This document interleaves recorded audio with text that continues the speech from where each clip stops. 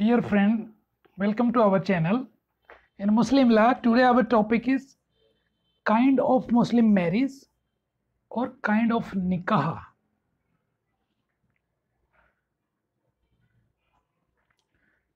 So there are mainly four type of nikah in Muslim or, or Muslim marriages are four type.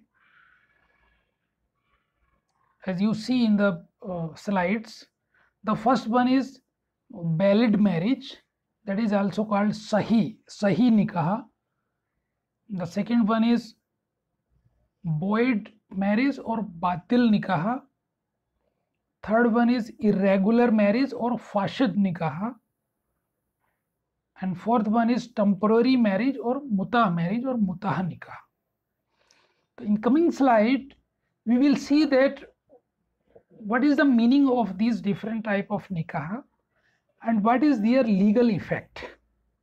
As we discussed in previous video of Muslim marriage or nikah, the basic purpose of nikah is union of sexes and legalizing the procreation or the leg- legitimatize the children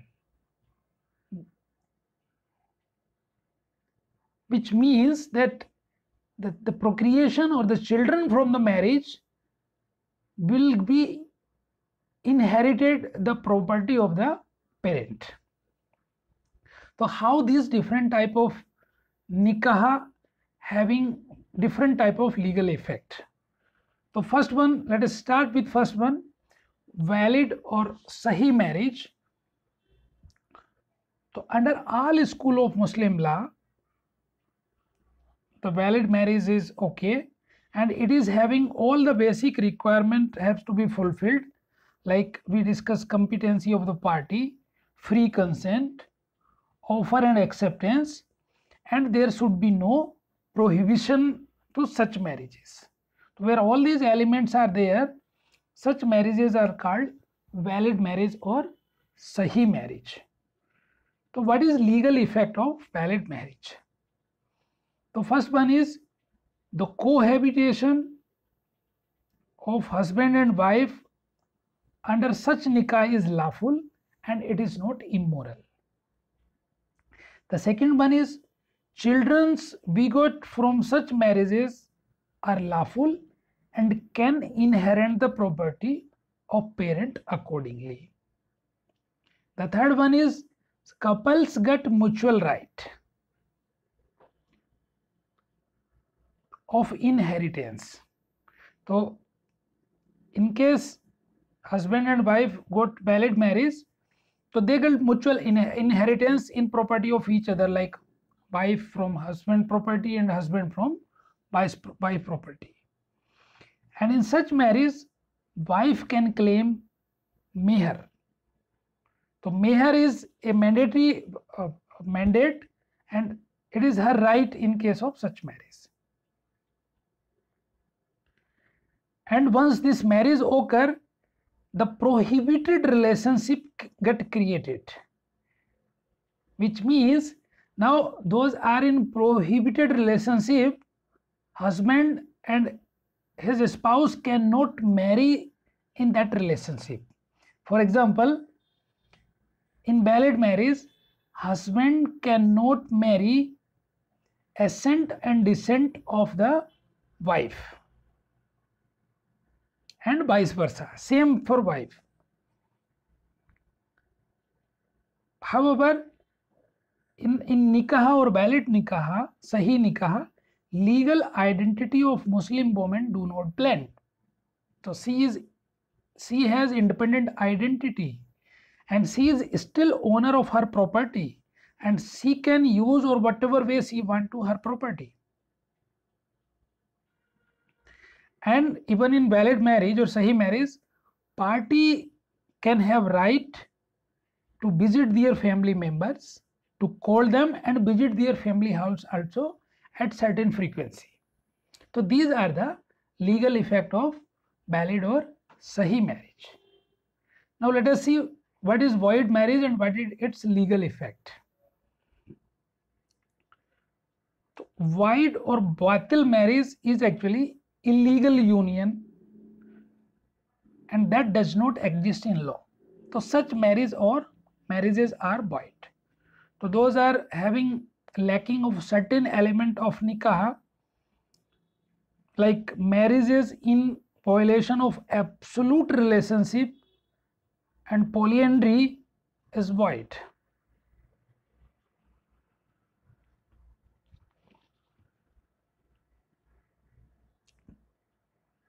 Now, in in Shia Shia law, they give some more ground. So, as we discussed in video of Muslim marriage, some of the ground Sunni make irregular marriage. However, Shia either valid or void. There is no irregular category. So in, in Shia law, in case marriage during iddat or marriage during pilgrimage or hajj are also fall in this batil nikah category or void marriage category. So what are legal effect of void marriage? First one, there no mutual right, children are illegitimate, no right of meher, so there are no right at all, you know, just like there are no marriage. And the foremost thing is party can marry again because as per their wish. Because as per law there is no existence of marriage. So they can again uh, do marriage or make nikah with some other party. So there is no restriction from the law point of view तो these are the legal effect of void or वातिल marriage let us see irregular marriage irregular marriage an incomplete marriage where deviation from procedures or law can be removed it can become a valid marriage for example marriage with fifth wife is irregular or fasid marriage or marriage during the woman who is observing iddat period is also irregular or fasid marriage. So what are the legal effect of such marriage? So though they are irregular, marriage but they are not void. So they have some legal effect like Cohabitation in such marriage is lawful. Second, children are legitimate. They will inherit property. Wife can claim meher in such marriage only after consummation. If no consummation happen, then wife cannot claim meher. However, till the marriage are irregular, no mutual right between husband and wife of inheritance means wife cannot inherit the property of husband in case of his death and vice versa. And in such marriage, if divorce happen, the woman need not to observe iddat if not consummated. So this was the legal effect of irregular marriage. Now let us see temporary or muta marriage. So first of all, muta marriage is not prevalent in Sunni. It is prevalent only in Shia and especially in Ithna Asariya school. It is a union for a particular time only with consideration as a prerequisite. So in this, Hakke Meher amount has to be paid immediately, promptly. So that is a minimum condition because it is a temporary marriage. The Prophet Muhammad actually in his time initially allowed muta marriage considering long traveling of Arab people and later on he prohibited it absolutely. However, still it is in Ithna Asariya school continue. So what are the minimum requirement or essential requirement of a muta marriage? So first of all, since it is a temporary marriage, duration of the marriage has to be specified. If it is not specified at the time of marriage, it will be considered permanent marriage. And it it can be only with muslim women. It cannot be with non muslim women. However any number of mutha wives mutha wives are permitted. Means any number of mutha marriage can be done what are the legal effect of mutha marriage first one is cohabitation is lawful and children's are legitimate from such marriage. However, no mutual right of inheritance get created. So since it is a temporary, wife cannot take property of husband and husband cannot take property of wife in case of any one of them die.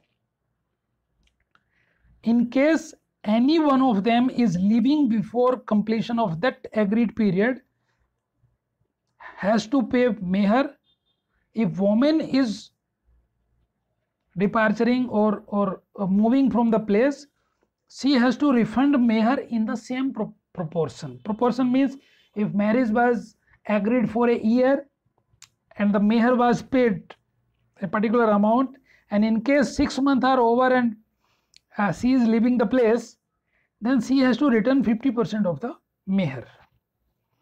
And in case